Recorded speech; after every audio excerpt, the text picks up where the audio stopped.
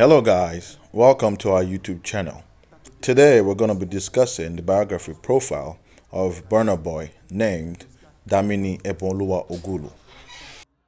Burna Boy is a musician, songwriter, and record producer who was born in 1991, July 12 at Port Rivers State, Nigeria.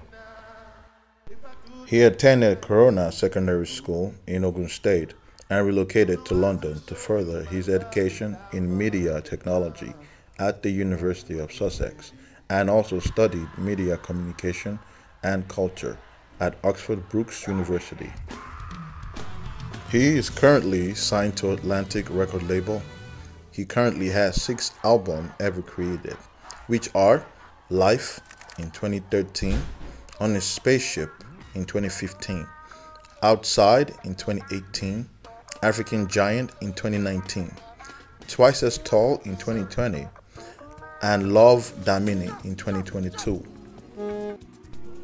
He also has won numerous awards, the likes of Nigeria Entertainment Awards for the Album of the Year in 2018, Sound City MVP Award. He won an Edison Award in the World Album category for African Giant.